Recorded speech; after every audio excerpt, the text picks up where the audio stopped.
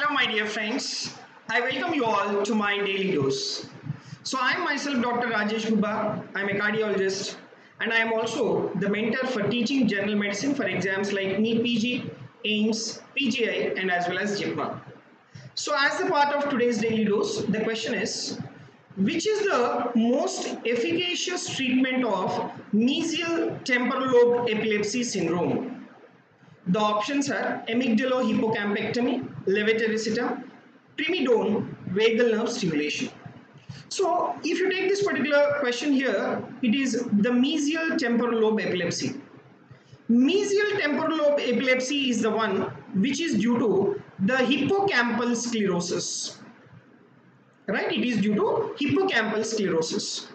And let me tell you that this particular mesial temporal lobe epilepsy is the one this is one of the clinical condition which will cause refractory seizures. And this particular refractory seizures does not respond to medical management.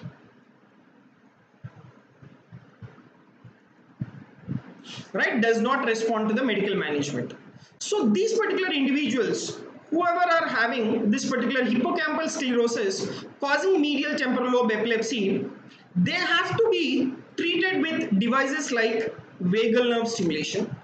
This is one of the modality of the treatment what you can do in these individuals. But what exactly is the definitive treatment? So if you take the definitive treatment in these individuals, you need to do the resection.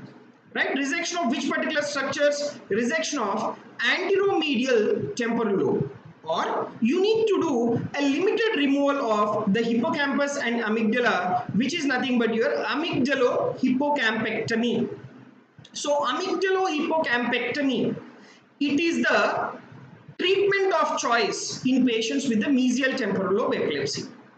And the other point is like uh, in these individuals with the mesial temporal lobe epilepsy they'll have focal epilepsy because the abnormal neuronal discharge is from one particular focus and that particular focus has to be abolished. Right? And that particular focus has to be abolished. And for that like what you need to do is you need to identify that particular focus or lesion and you have to do what is called lesionectomy.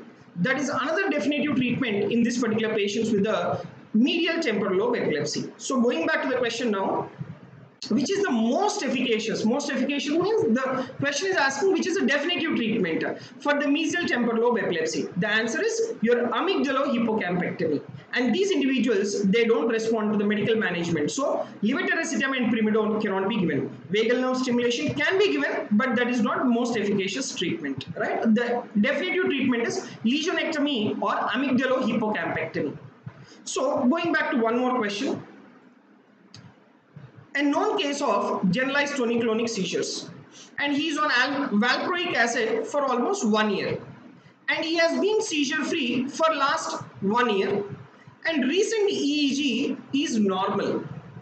And anti-epileptics should be the anti-epileptic withdrawal should be initiated within right within how many years of initiation is the question. That means after starting anti-epileptic drugs, after how many years you should start initiating the withdrawal?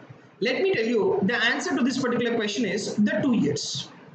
So within two years of initiation of the anti-epileptic drugs, you can start the withdrawal.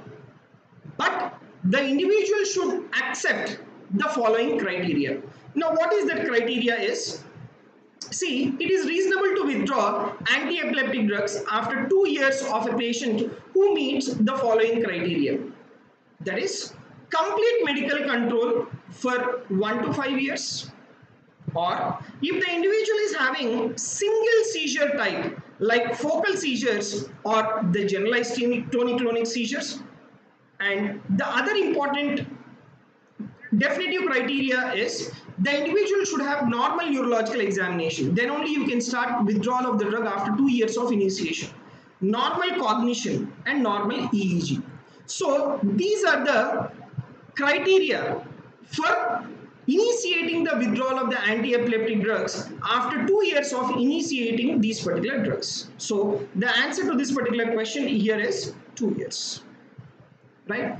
So this is a short video on today's daily dose. So please follow us on the daily dose for the daily updates. Thank you very much.